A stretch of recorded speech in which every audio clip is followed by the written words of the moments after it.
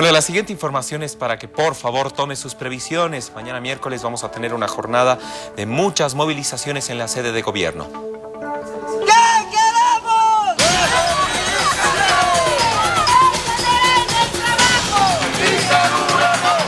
Tal como ya ocurrió durante esta jornada, este miércoles también se caracterizará por las movilizaciones no solo en el centro de la ciudad, sino en varios puntos de la urbe.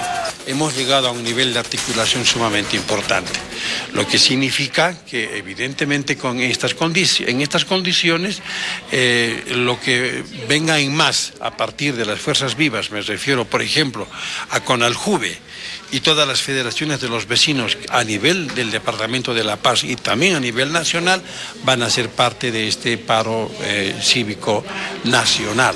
Toma en cuenta estos datos. Cronograma de conflictos para este miércoles 21 de agosto. Marcha y bloqueos convocados por el Consejo Nacional de Defensa de la Democracia CONADE a las plataformas del 21F.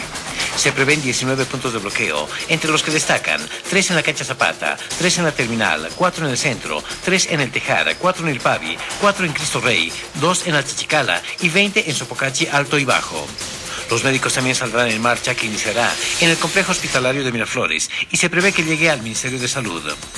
Mientras tanto, el paro indefinido de los hospitales públicos y la Caja Nacional de Salud continuarán por tercer día consecutivo.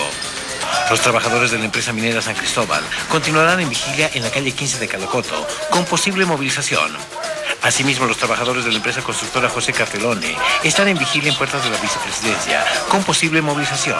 Pese a la jornada difícil que se avisora, el Servicio Departamental de Educación instruyó no suspender las labores escolares. Tomen sus previsiones para no verse perjudicado ante esta ola de conflictos.